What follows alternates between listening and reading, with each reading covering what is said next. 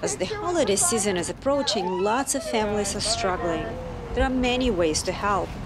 I'm at North Fire Rescue Station in Palm Beach, Florida. There's a Thanksgiving curbside giveaway happening as we speak. Today we, uh, we have the Cancer Alliance in coalition with uh, Palm Beach Fire Rescue um, hosting an event to uh, hand out turkeys to all the families in need uh, during these troubling times. Uh, we're happy to help host you here. We're happy to do what we can for the community and just happy to do our thing.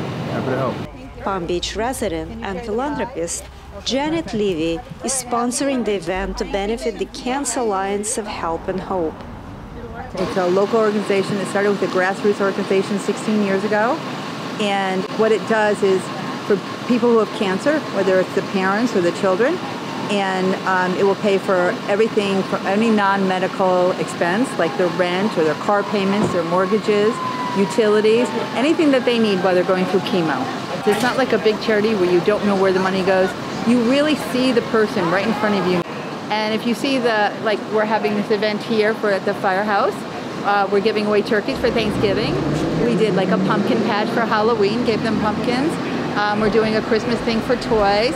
All summer long, we gave away 2,500 meals um, because they, out of different restaurants in Palm Beach, out of Cucina and uh, Bricktops and Cafe Sapori.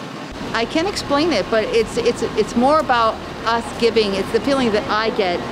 We get the, the nicest thank you notes, and you really, really get to make a difference. That's why I love Cancer Alliance of Help and Hope. From Palm Beach, I'm Jane Greaves. Happy Thanksgiving.